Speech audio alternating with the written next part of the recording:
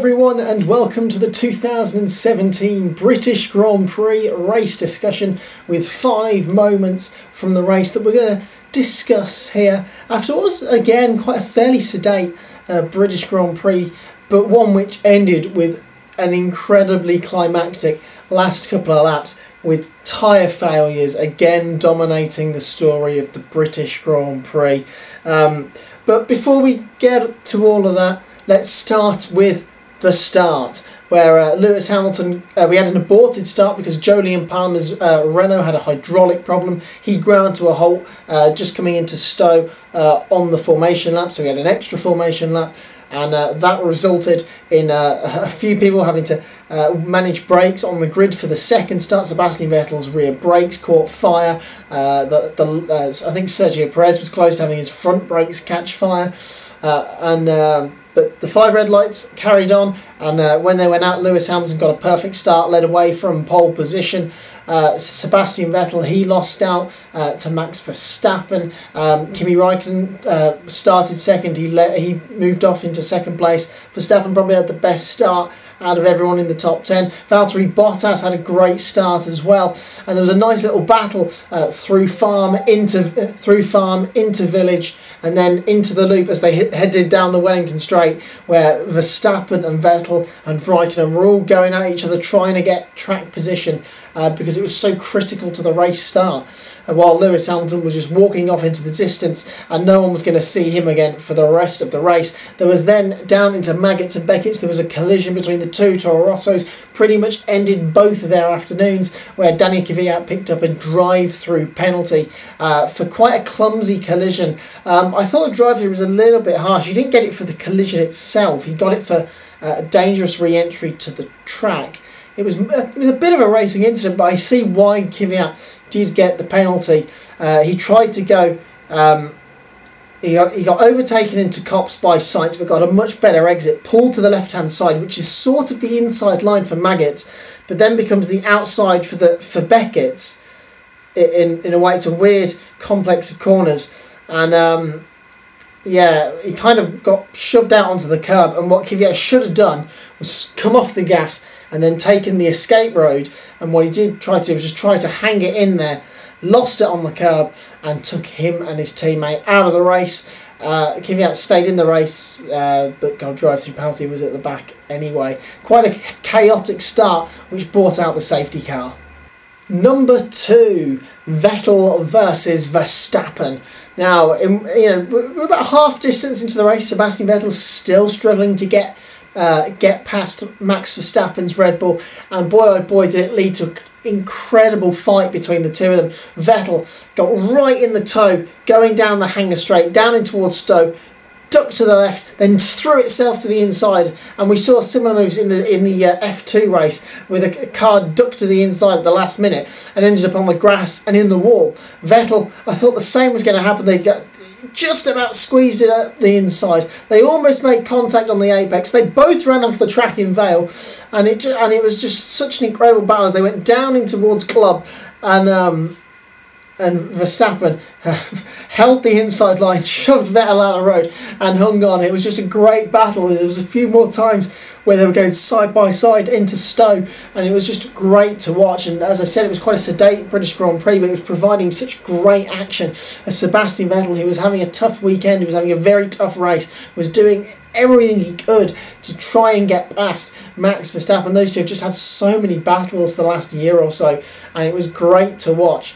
And uh, it, it then sent it. Believe, incredibly, little did we know at the time, but that battle where Vettel would then undercut Max Verstappen in the pit stop phase would have huge ramifications at the end of the race.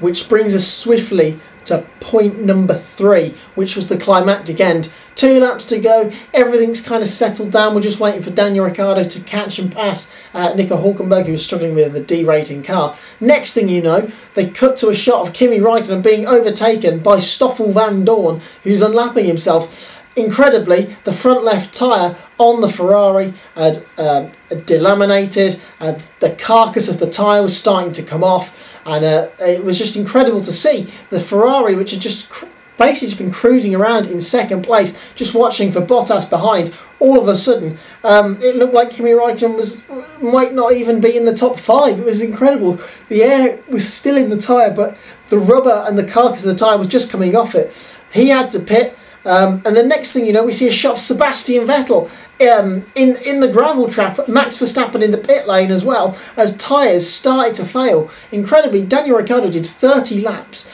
Uh, it might have been 33 laps on the super soft compound tyre, and then all these guys who'd done uh, roughly around the same sort of stint length on the soft tyre were having failures left, right, and centre. Vettel had already majorly locked up his front left tyre, um, battling Valtteri Bottas. So it wasn't much of a surprise that Vettel had a tyre problem. He'd complained about, he'd said on the on the radio about five or six laps before that the front tyres were finished. They carried on, they should have pitted, and in the end it put Sebastian Vettel down to seventh place. We all thought he might have been out of the points completely, as uh, the, Vettel was unlucky as the, the air completely went out of his tyre. Um, and it's we'd seen it uh, blistering being a big factor in the Austrian Grand Prix. It was again this weekend and it was a result of blisters that caused a late pit stop for Verstappen and then punctures for Vettel and Raikkonen. Interestingly enough, though, both Ferraris suffered, and and uh, although Verstappen did as well, but Verstappen's pit stop was precautionary. Nobody else suffered uh, tyre problems. It was a marginal one stop. The safety car at the start pushed everyone to a one stop, and in, it, it's one of those, if it's marginal, sometimes it goes right, sometimes it doesn't. Echoing back to Spa 2015 with Sebastian Vettel. So it was a chaotic end to the race. And Lewis Hamilton was there to take the checkered flag while tyres were failing left, right, and centre. Uh, it was a quite a crazy climactic end. Ricciardo got Hulkenberg right at the end as well uh, because Hulkenberg had a de-rating car. And uh, yeah, so much action happening in the last two laps. It was a shame that it wasn't spread out across the 51 laps that we had. Number four, driver of the day. Again, a few more candidates for driver of the day. Um, the man who won it, the man I voted for, was this man here, Daniel Ricciardo. Started in 19th, finished fifth in the end. Incredible race, and that was despite taking a nice trip through the, the, the grass and gravel on the exit of Luffield. Uh, very early on into the race. Uh, it was a great drive from Daniel Ricciardo. Strategy worked well for him. He had very good pace. Imagine what he could have done today. He probably could have been on the podium um, in the end uh, if he hadn't have had that the, the gearbox penalty and the problem in Q1.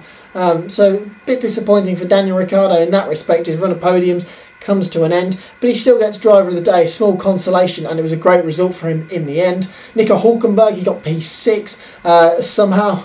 Uh, the de-rating car with people flying off the road everywhere. Uh, it was a very good drive, very measured drive from Nico Hulkenberg very, very good from him, and he just cements himself as that number one in that Renault team, just showing that he, he's the man at the moment to lead Renault's charge. It was a great result ahead of Force India, ahead of Haas, and some much needed points. With Jolyon Palmer not in the points, uh, not even in the race, he's the only man scoring for Renault, and if they're to push themselves up the table, especially while Toro Rosso were in a bad run of form, um, it's a big result for Renault and for Nico Hulkenberg. And another man I should give it, I'd probably give it to would be Valtteri Bottas. Started ninth, finished second, was quite fortunate with Kimi Raikkonen's tyre failing, but it was still a very good race. Again, strategy worked very well for him. But the main driver of the day, the main man, was Daniel Ricciardo. And finally, number five, we look to the Hungarian Grand Prix in just a couple of weeks' time. Uh, the championship lead down to one point now between Sebastian Vettel and Lewis Hamilton. And boy, is this going to make for an exciting Hungarian Grand Prix because who is going to lead the World Championship going into the summer break? What happens at Hungary could have a huge impact on what we see at uh, Spa Francorchamps um, for the Belgian Grand Prix. Um, we go to Hungary. It's a track where Lewis Hamilton, I think it's his most dominant circuit on the calendar. Uh, it's one of, if not the most dominant for him. He's had a lot of poles, a lot of wins there, and I, I tell you what, on the back of this result, you'd say he's definitely the favourite going there. Very, he's always got a couple of tenths in his pocket going to the Hungaroring. Uh, Sebastian Vettel has only won there once. That was in 2015 for Ferrari. Could very do with getting back on the top step of the podium. Um, Sebastian Vettel hasn't hasn't won a Grand Prix since Monaco, I don't think. So he needs to get himself back on the top step. Hungary would be a good way to end the first half of the season. Red Bull, could we finally have that three-way fight? We've been waiting for it all season, and if it's going to happen at all in the rest of the season, it's either going to happen at Hungary or it's going to happen at Singapore. Will it be at the Hungaroring? We're expecting a big uh, update package from Red Bull. Can that put Verstappen and Ricciardo into the mix? If it does, we can have a great race. Hungary can always make a great Grand Prix. Sometimes it doesn't quite work out. Last year was one of those, but usually it will create quite an exciting Grand Prix, and I can't wait for it. Uh, Hungary, two weeks' time, it's going to be a cracker. So guys, if you enjoyed the video, please leave a like, subscribe if you're new. Uh, what did you think of the British Grand Prix down below? Thank you very much for watching. Uh, I will be back next week. No idea what's uh, what's coming up next week. Do remember, check out yesterday's video, the F1 book review, where we review Michael Schumacher, The Edge of Greatness by James Allen. Well worth checking that video out. Uh, the link will be in the end credits in just a second. So until next week, guys, I will see you around. Goodbye.